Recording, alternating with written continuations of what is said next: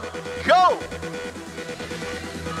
We're on planet Primus, and the goal is to put cargo on the rocket ship and the cargo ship. They can do, they have uh, hatch panels to try to secure the rocket. And now we have tele-operated totally controlling three teams on the red, three teams on the blue. Cargo is the orange balls, and the hatch panels go on the rocket. There's six per rocket, and the cargo ship has eight, to pre-populated. Seeing a variety of three teams randomly selected together. If they can successfully fill the cargo ship, they get an extra ranking point. 3473, oh, attempted to get cargo in on the side. 3309, the Red Alliance, picking up from the habitat zone.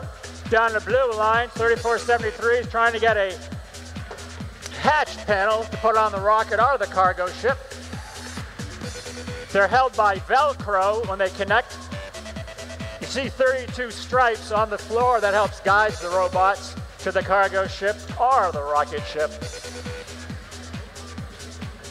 They have 2 minutes and 30 seconds total to complete filling the rocket and the cargo ship before the next sandstorm. They get 2 points for every hatch, 3 points for every cargo put into the cargo ship. The Red Alliance is enjoying a substantial lead at the moment. Blue Alliance has only two robots on the floor.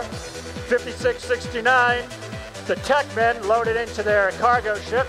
3473 working low on the floor of the Blue Alliance. That's Team Sprocket going to their rocket on the first level. The Red Alliance is filling up their red rocket two levels.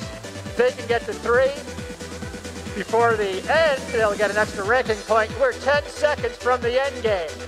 And the end game, they have to get back to the habitat before the next sandstorm.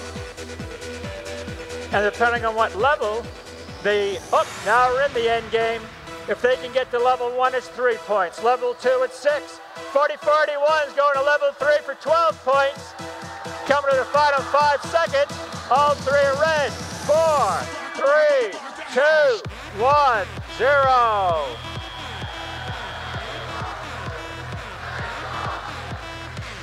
Results in just a moment.